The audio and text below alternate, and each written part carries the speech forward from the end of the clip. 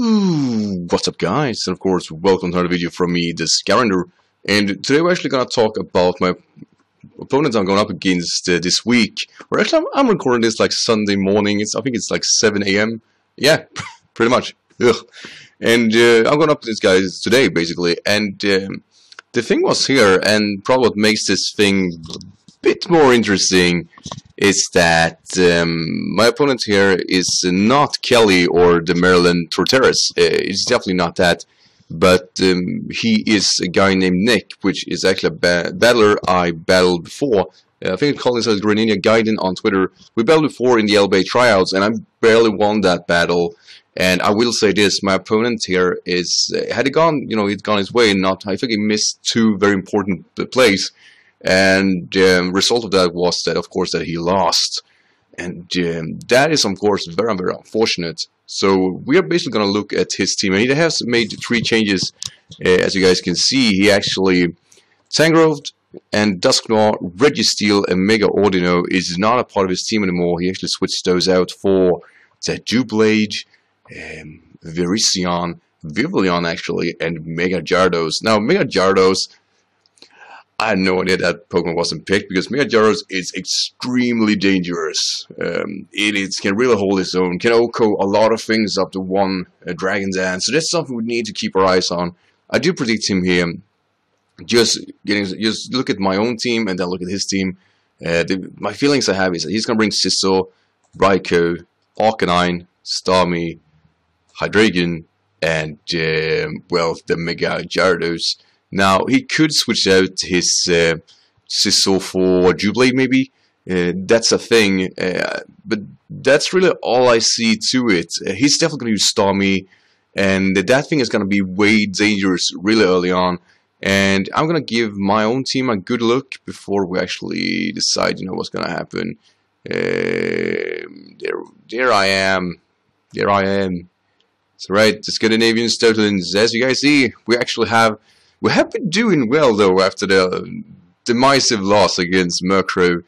And just going through, I had a game idea going against Kelly because it's Mega Audino that I would use Magnezone. But his team is not that slow anymore with the change of Virizion and whatnot. So I need I need something scoffed. So I'm gonna go for like this is the pre-team already. Thundurus is a given here. Scarf Thundurus to outspeed Starmie, to outspeed Virizion if decides to use that and basically outspeed everything in his team. Even with a Scarf, I'm actually able to outspeed a plus one Dragon Dance Gyarados. So that's something I'm gonna keep in mind. Um, Mega Garchomp and Scolipede is um, like I really want to try these guys out. I know it sounds weird, but I actually only need a Swords Dance and um, a one, no actually two speed boosters, and I should be good to go with Scolipede uh, to the Mega Garchomp. Uh, and if that doesn't work, I do have Black Sludge on my Scolipede because it's a bit defensive and it can't sweep on its own if it's forced to do so. It only needs one speed boost to outspeed Starmie. Um, it only needs one speed boost to outspeed Hydreigon and a Mega Horn, OHKOs though, no matter what. So that's the last resort really. So those three are gonna make it. I don't want to bring Sigilyph here because it does have access to the Raikou. And Raikou can really, really do some damage here. Diancie is important, but since it has Scizor, uh, I really want to take a super or a bullet punch there. I think that's gonna it's gonna whittle me down fast. Uh, so I'm, yeah, these three guys is definitely not gonna make it. Um, Chansey, Chansey and Keldeo. Now they are both great actually, but don't see Keldeo helping this spell a whole lot uh, because it just it isn't fast enough. Starmie outspeeds it. If Hydreigon Scarf, it's going to outspeed it. I don't want to Scarf Keldeo. Uh, but Chansey is a good go-to escape plan if things are working. Hydreigon is super annoying to deal with. So, yeah, we're gonna go for, um, we have to have T-Wave though. I don't think we can get away with, since he has two steel types, eh, we can't go for Toxic. So we're gonna go for Chansey and uh, we're gonna at least T-Wave all that comes in. Uh, usually have natural cure, so that could be annoying actually. But I do believe that's our only real issue. So that's a good thing. And I should have Wish Chansey, uh, because I actually read this up back before uh, actually planning this team, that uh, Wish Chansey actually, or rather Wish work like this. if you have a lot of HP and you wish it, then there is your HP, you have your HP that you're wishing from that's gonna come down. So my Chansey has about 360 at level 50, so that means 180 is the recovery basically. So that's a good thing. Like I didn't know, I thought um, actually that it worked like this: that Wish is um, have 50% of the um, Pokemon, but it's actually 50% of the Pokemon that use Wish, which means that Chansey is one hell of a Wisher. Uh, could definitely help out Hippowdon, since Hippowdon can take a few hits. So yes, Hippowdon is gonna come here. So Hippowdon is a defensive wall after all, and probably the only one who can face Scolipede and Doublade if he decides to go with that. Um, Hippowdon should be able to take a Dark Pulse. Uh, if it isn't Specs, Great Good should kill it. Uh, I'm sure. Um, so Scolipede, Mega Garchomp, Hippowdon, Chansey, and it's between Keldeo and Stoutland, and I think it's no competition. Stoutland is a good, like, if, if things fails, Stoutland is the one guy can kind of lean on here. Uh, Stoutland has the power that oh, it doesn't oh it OHKOs with uh, uh, with Choice Band, uh, but it doesn't OHKO with Life Orb. But I think I'm forced to have Life Orb here because he has, like I said, um, he has a Ghost type with the Doublade. Doublade has one of those things, a lot of immunities, and if Doublade is a late runner, then Stoutland can stop it. So we need to have crunch at least. We can't be locked into uh, normal or fighting moves. And you know, we can't switch in his Starmie. If it survives long enough, um, I can only, I can outspeed most things in the sand though. Um, Stoutland should definitely. I think I need hazards up. If I get the rocks up, I should be fine. Uh, for Stoutland to kind of sweep, but I don't want to go for unnecessary superpower and lose my defenses. Uh, we're immune to Shadow Sneak, but not the Bullet Punch. So Bullet Punch is gonna really sting. I do believe Scizor kind of win a lot of these matchups. Uh, it's gonna come down to, um, or actually, I know exactly what I need to do. We need to. I'm actually gonna do a damage calc here. Um, let's say now that um, I hope you guys hear me fine. Move the mic a bit, but let's say that, for example, um, Mega Garchomp. If I'm forced to go one on one against that, um, let's see, Mega Mega Mega. Oh, you mixed, but not really. Uh, I'm probably going to be very fully defensive, so we're going to have a 216 and at least 40-ish defenses because that's actually necessary. Uh, something around that is what I'm using. And there we go, and going up against uh, Scizor.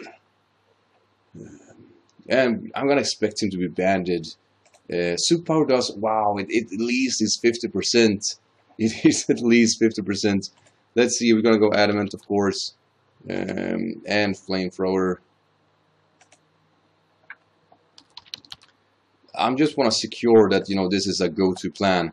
It is not a KO. It is not a KO. Um, that's unfortunate, but it's a good way. Like if it comes down to that, if my if my Mega Garchomp is um, in a good range of HP, uh, it can't switch in on it, but it can win against it one on one. Uh, he's forced to go for Bullet Punch to do damage to me, so I need more than more than around 50% and then I can win that matchup. I won't switch in on it. Like I, I, I care about points. I want a 6-0 victory, but I also know my opponent is good, and I also know that, vic that those stats doesn't matter if you win or lose. Like the losses or wins, it was matter the most. Um, but I need flamethrower. I should force myself to fire blast. But the thing is, like, if I miss a fire blast, well, it's not? It is isn't unlikely that something like that could happen, then uh, I mean I'm done for here. I am really done. There there is no change after that. That fact is gonna take me down.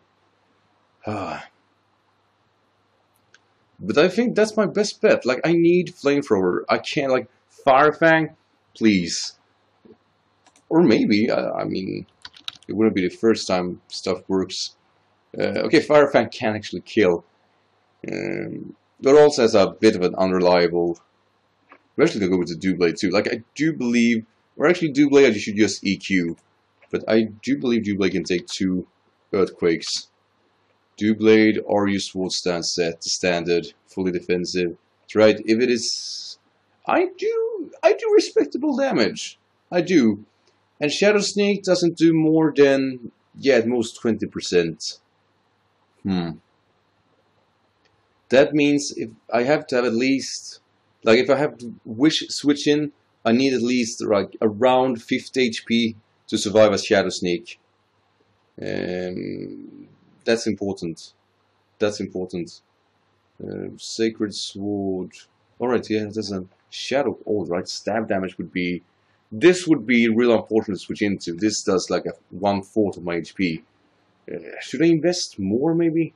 I could do. I, I don't want to lose my speed, but this should still be a 2-hit KO. And now we have at least a fighting chance. Right? Ah, isn't really helping. I don't want to go full defensive either. But I think that's my team at least. Like, we're gonna settle for that. We're gonna make a lengthy video yet again with nothing really. But, um, like I said, I can't use Diancie because of um, the bullet punches. I can't use Magnezone because of the Gyarados with, uh, of course, Earthquake. I can't use Sigilyph because if it decides to go for Raikou, the Raikou is gonna eradicate my team rather easily. Uh, even Hydreigon can deal with Sigilyph really easily with Specs, Dark Pulse. So Thundurus, uh, have that scoffed, Garchomp, basically try to pass speed boosters to it so it doesn't, so he can outspeed everything on his team. Uh, because he's really fast now with his new team, but not that bulky, so we can kind of force hits here. Since Garchomp has 170 base attack, that should probably dent something real bad.